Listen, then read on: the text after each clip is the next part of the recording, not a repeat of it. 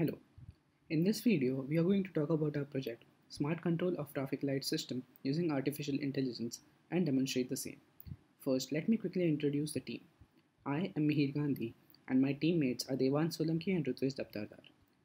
We are final year computer engineering students from KJ Somaiya College of Engineering Vidya Vihar in Mumbai. We have done this project under the guidance of Mrs. Nirmala Shinde and Mrs. Kavita Kelkar. Let us start with why smart control of traffic light is required in the first place.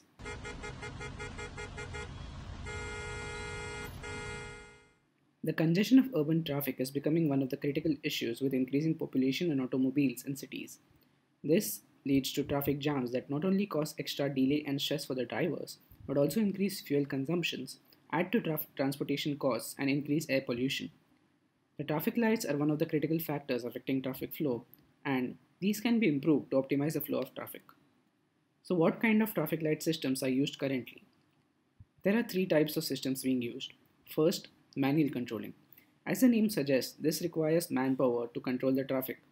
Traffic police are allotted for a required area to control traffic using signboards, whistles, and sign lights.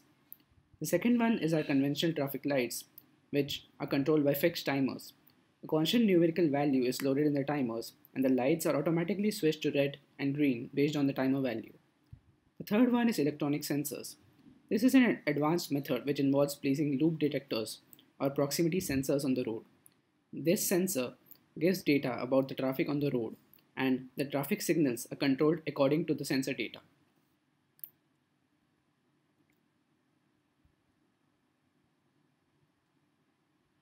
All of these systems have some drawbacks. The manual controlling system requires a large number of manpower. Conventional traffic lights use a timer for every phase which is fixed and does not adapt according to the real-time traffic on that road. With electronic sensors, that is proximity sensors and loop detectors, the accuracy and coverage are often in conflict. And for sufficient coverage, a lot of sensors are required. These sensors are quite expensive. We try to overcome these drawbacks and improve the system using a new system. As we have seen, the traffic flow has no specific pattern that is followed, and the static signal timers pose a huge problem to the already critical problem of congestion. Consider during morning and evening, the majority of the traffic movement direction is always opposite. Even during weekends and on holidays, the flow of traffic tends to change. Taking in account these above mentioned factors, keeping a static waiting time duration for every traffic light on every side of the intersection leads to the problem of bottleneck where one particular direction tends to be heavier is given a green signal time of the same amount as another direction which has considerably lesser or no traffic at all. Therefore, implementing a system which aims to reduce chances of such scenarios by automatically computing the optimal green signal time based on the current traffic at the signal will ensure that the direction with more traffic is allotted a green signal time for longer duration of time as compared to the direction with lesser traffic. This will help to reduce the congestion, which will in turn reduce waiting time and stress for the drivers, as well as reduce fuel consumption and air pollution. To summarize, the objective of this project is to design a traffic light controller based on computer vision that can adapt to the current traffic situation. Our proposed system aims to use live video feed from the CCTV cameras at traffic junctions for real-time traffic density calculation by detecting the vehicles at the signal and set the green signal time accordingly.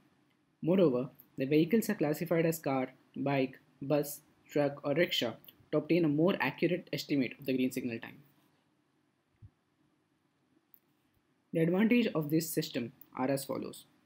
It enables real-time traffic light switching according to the current traffic density. It requires virtually no new hardware as CCTV installed at traffic signals are used. It is less expensive than sensors and it is autonomous, so there is no need of manpower. How will it work? Our proposed system will pass a snapshot from the CCTV cameras at traffic junctions for real-time traffic density calculation using image processing and computer vision. We are using a customized YOLO model for object detection in order to detect vehicles. The scheduling algorithm will use this traffic density and appropriately set the optimal green signal time for each signal and update the red signal times of the other signals. Some of the factors considered in the signal switching algorithm are the processing time of the algorithm to calculate traffic density, the number of lanes, lag each vehicle suffers during startup, the nonlinear increase in lag suffered by the vehicles which are at the back, and the maximum and minimum green signal time that can be set. This is done to prevent starvation of the lane with less traffic. The way working is summarized in the form of flow diagram here.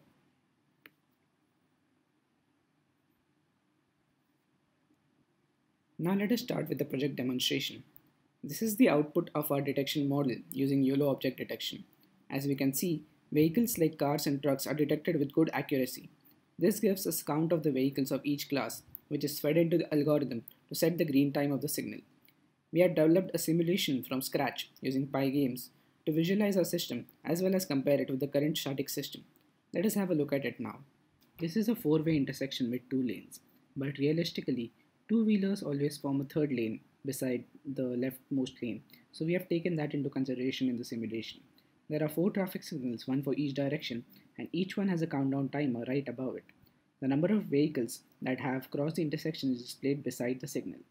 As we can see, the vehicle moving towards right have the next range signal, so let's focus on that signal. Detecting vehicles, right.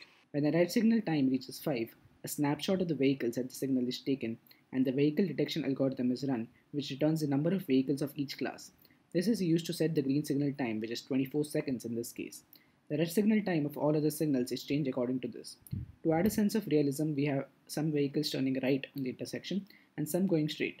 Now the next signal is for the vehicles moving down. When the signal is red, we display a blank value till it reaches 10 seconds, but then we show the countdown timer so that vehicles can start up and be prepared to move once the signal turns green. Again, when the timer reached 5, detection was performed. The next one is the vehicles moving to the left. Here, we can clearly see the effectiveness of the adaptive system.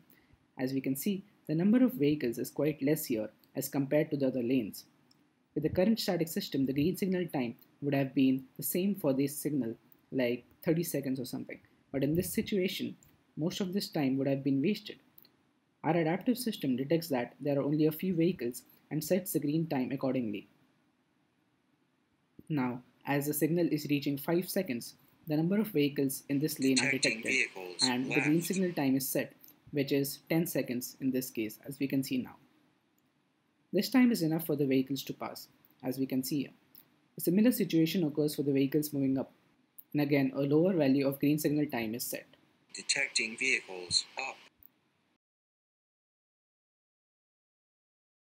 Now there are a lot of vehicles moving to the right, so the time set by the algorithm should be high as it adapts to the high traffic. Detecting vehicles right. And as expected, this time is set to 40 seconds.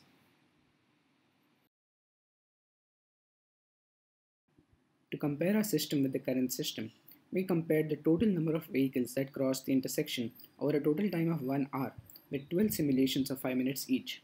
These are the results obtained. As we can see with all conditions alike, the adaptive system was able to pass 2,997 vehicles while the current static system could pass only 2,435 vehicles in 1 hour, which means that 562 more vehicles passed the intersection in the adaptive system which is a significant improvement. The results can better be visualized in the graph below. The blue line is the current static system, while the red line is our proposed adaptive system. The adaptive system, on an average, allows 48 more vehicles to pass every 5 minutes as compared to the static system. Thus, the proposed adaptive system improves the performance by over 23%. This implies a reduction in idle green signal time, that is, signal is green but no vehicle passes, as well as the waiting time of the vehicles. In conclusion, the proposed system sets the green signal time adaptively according to traffic density at the signal and ensures that the direction with more traffic is allotted a green signal time for a longer duration as compared to the direction with lesser traffic. This will lower the unwanted delays and reduce congestion and waiting times, which in turn will reduce the fuel consumption and pollution. According to the simulation results, the system shows about 23% improvement over the current system in terms of the number of vehicles crossing the intersection, which is a significant improvement. The system can thus be integrated with the CCTV cameras in major cities in order to facilitate better management of traffic.